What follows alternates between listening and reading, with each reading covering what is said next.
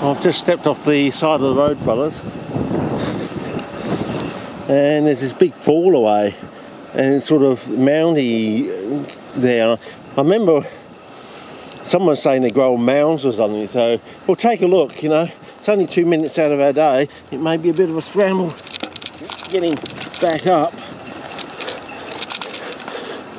but it might be uh, productive. You never know we might get this idea of sense that they grow on mounds or something surrounded by water, you know.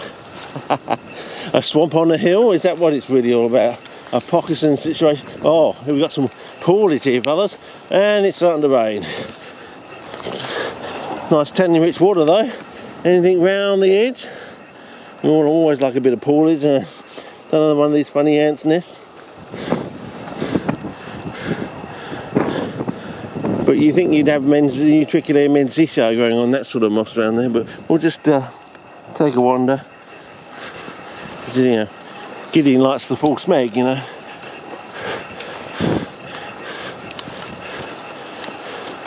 Oh well, it's opening out a bit. Uh, another what, Modesto I think.